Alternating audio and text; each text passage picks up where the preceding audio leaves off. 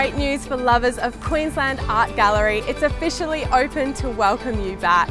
You will notice a few new features as you arrive. Welcome back. Thank you. Always grabs my attention with some great little gift ideas. I think I might need to stop by on the way out. But as always, it's the exhibitions that will capture your attention. I could wander through here for hours taking this all in. There's a stunning retrospective display of works from North Queensland artist Mavis Ngallametta, along with works from other Indigenous and Australian, Asian and international collections on display. Seeing Brisbane like that is unreal.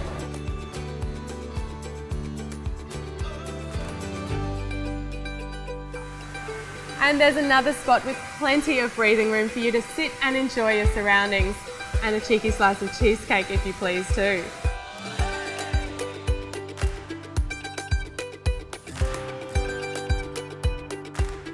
So while there are some subtle changes here at the gallery to make your visit a little safer and more comfortable in these times, it's still packed full of beauty and inspiration. And it's a great reason to get out and enjoy all that the Cultural Precinct has on offer. Queensland Art Gallery is open every day from 10am to 5pm with free timed entry tickets available online.